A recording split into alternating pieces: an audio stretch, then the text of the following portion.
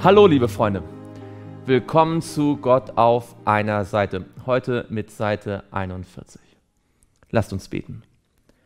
Lieber Vater im Himmel, wir möchten dir Danke sagen, dass wir immer wieder zu dir kommen dürfen, dass wir uns erinnern dürfen, was du alles schon in unserem Leben getan hast und dass du auch heute durch dein Wort zu uns sprechen wirst. Das bitten wir im Namen Jesu. Amen.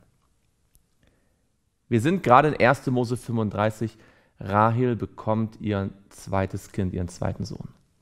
Vers 17, als ihr aber die Geburt so schwer wurde, sprach die Hebamme zu ihr, fürchte dich nicht, du hast auch diesmal einen Sohn.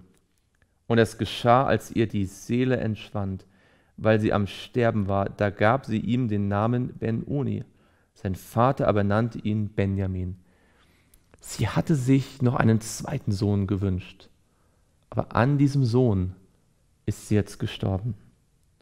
Und Rahel starb und wurde begraben am Weg nach Ephrata, das ist Bethlehem. Und Jakob stellte einen Gedenkstein auf über ihrem Grab. Da ist Rahels Grabmal geblieben bis zu diesem Tag.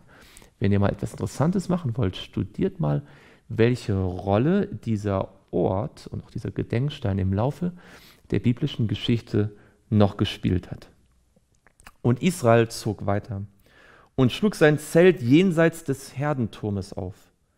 Und es geschah, als Israel in dem Land wohnte, da ging Ruben hin und lag bei Bilha, der Nebenfrau seines Vaters, und Israel erfuhr es. Jakob musste feststellen, dass es massive Charakterfehler bei seinen Söhnen gegeben hat. Und auch hier sehen wir, dass diejenigen, die einmal die Stammväter des Volkes Israel werden sollten, keine Heiligen von Geburt an waren, sondern zum Teil mit schweren Sünden zu kämpfen hatten und die Gnade Gottes wirklich im vollen Umfang benötigten. Jakob aber hatte zwölf Söhne. Die Söhne Leas waren diese Ruben, der erstgeborene Sohn Jakobs, und Simeon und Levi. Und Judah und Isaschar und Sebulon, die Söhne Rahels, waren Josef und Benjamin. Die Söhne Bilhas, der Magd Rahels, Dan und Naphtali. Die Söhne Silpas, der Magd Leas, Gad und Assa. Das sind die Söhne Jakobs, die ihm in Padan Aram geboren wurden. Und Jakob kam zu seinem Vater Isaac nach Mamre bei Kirjat Aber, das ist Hebron, wo Abraham und Isaac als Fremdling geweilt hatten. Mehr als 20 Jahre später lebt Isaac immer noch. Er hatte schon damals in Kapitel 27 gedacht, er würde bald sterben, aber er lebt noch immer. Vielleicht wäre alles etwas anders ausgegangen, hätte er damals auf Gott vertraut, dass Gott sich um das Erstgeburtsrecht und auch um den Segen kümmert. Aber Rebekka war schon tot. Und Jakob hat niemals seine Mutter wiedergesehen. Manche Folgen der Sünde können wirklich schmerzhaft sein. Und Isaac wurde 180 Jahre alt. Und Isaac verschied und starb und wurde zu seinem Volk versammelt, alt und lebenssatt. Und seine Söhne Esau und Jakob begruben ihn. Dies ist die Geschichte Esaus, das ist Edom.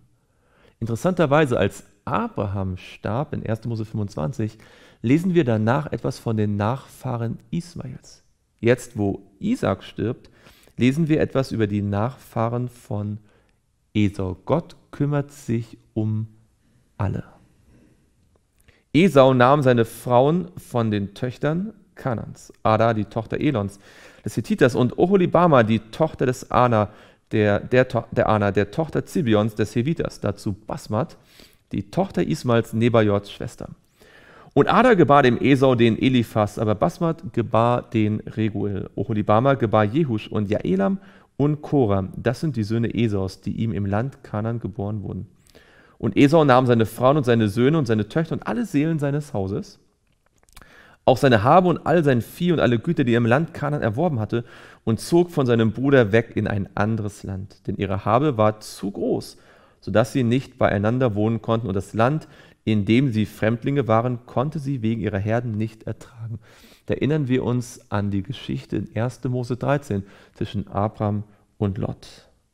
So wohnte Esau auf dem Bergland von Seir. Esau, das ist Edom.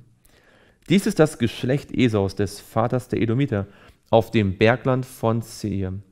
Und dies sind die Namen der Söhne Esaus. Eliphas, der Sohn Adas, der Frau Esaus. Reguel, der Sohn Basmats, der Frau Esaus.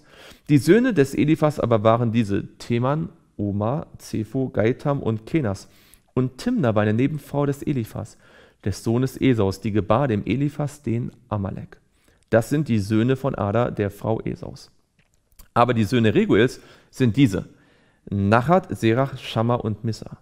Das sind die Söhne von Basmat, der Frau Esaus. Die Söhne aber von Oholibama, der Frau Esaus, der Tochter der Anna, der Frau Zibions, der Tochter Zibions, diese Esau gebar, sind diese Jehush, Jaelam und Korah. Das sind die Fürsten unter den Söhnen Esaus. Die Söhne des Eliphas, des ersten Sohnes Esaus, waren diese: der Fürst Teman, der Fürst Oma, der Fürst Zepho, der Fürst Kenas, der Fürst Korah, der Fürst Gaetam, der Fürst Amalek. Das sind die Fürsten von Eliphas im Land Edom. Das sind die Söhne der Adam. Und das sind die Söhne Reguels, des Sohnes Esaus, der Fürst Nachat, der Fürst Serach, der Fürst Schammer, der Fürst Missa.